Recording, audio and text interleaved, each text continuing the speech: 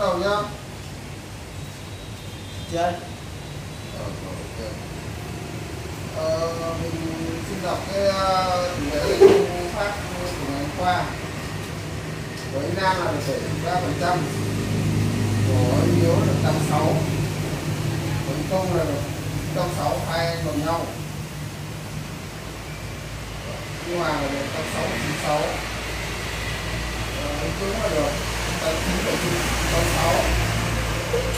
điều là ngày thứ ba liên tiếp là một trăm phần trăm luôn mình năm cái nó hoàn cho mình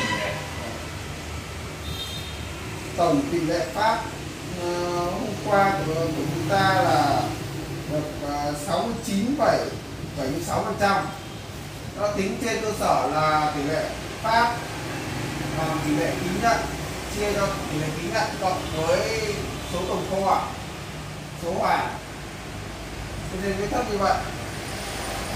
Và cái điểm cuối cùng của chúng ta là cả uh, từ đầu đầu tháng đến giờ chúng ta mới được có 62,82 phần trăm. Do cái ngày ờ, trước là nó nhầm đấy. Cho nên tụt xuống như vậy.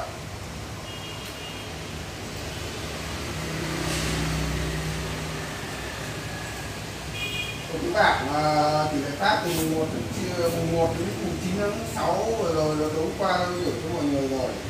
Thì cứ thực hành thực hiện thôi.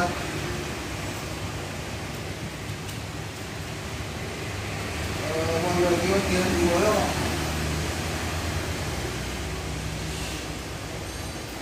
cái bản tỷ lệ phát lên ra cái ngày của mình thì không chính xác của Ờ, từ bây giờ là thay vì là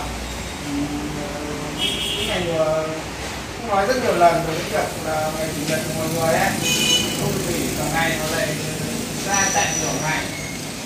Thì mình sẽ để cái chế độ là cái người hàng của người nghỉ ấy sẽ auto cho tất cả mọi người. Thì họ sẽ cái người nghỉ đấy sẽ nghỉ hẳn luôn chủ nhật đấy luôn.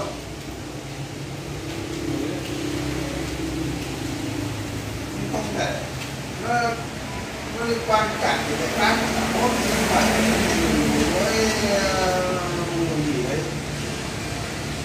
Ờ, ví dụ cái ngày của mình được nghỉ đấy mà mình à, đi ra mình chạy đấy mà cuối cùng phần trăm nó bị thấp là vẫn nó tính gục mình cả tháng giờ nó Đúng rồi. cả tháng giờ đúng rồi.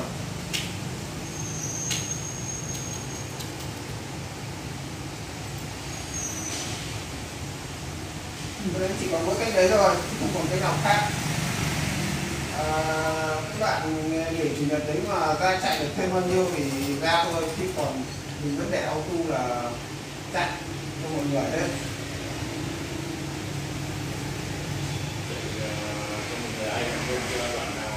Đấy đúng đúng rồi. Lấy hàng của đoạn đấy. Đúng rồi. Để hẳn của mình thì nó nếu mà không được hàng thì phải bắt như này thì như vậy thì được.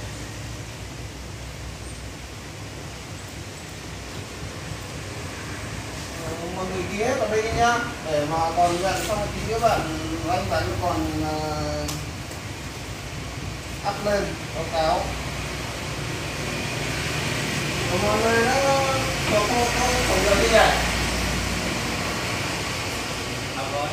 GSD Ờ, GST cải thiện thao tác ứng